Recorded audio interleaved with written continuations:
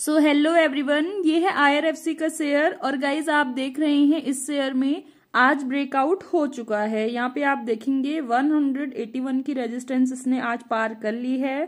सो so guys इस video में बताऊँगी मैं, क्या आपको अभी भी फ्रेश एंट्री लेनी चाहिए एंड क्या हो सकता है इसका टारगेट स्टॉप लॉस ये भी बताती हूँ आगे। पहले देख लीजिए यहाँ पर प्रीवियस रिटर्न वन मंथ में पॉजिटिव रिटर्न थे।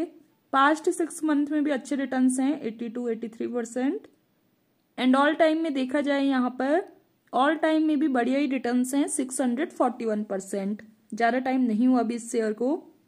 एंड गाइज़ आप लोग हमारा व्हाट्सएप ग्रुप ज्वाइन कर सकते हैं लिंक इन डिस्क्रिप्शन यहाँ पर हमने कल लुपिन लिमिटेड का शेयर दिया था, और आप देखेंगे इसके ऑल टारगेट हिट हो चुके हैं। अब बात करूँ यहाँ पे मैं आईरफसी के बारे में। सो गाइज़ यहाँ पे अगर ये थोड़ा डाउन आएगा अभी तो यहाँ पे ब्रेकआउट हो चुका है बट अगर ये थोड़ा डाउन आता है, तब आप लोग फ्रेश एंट्री लीजिए।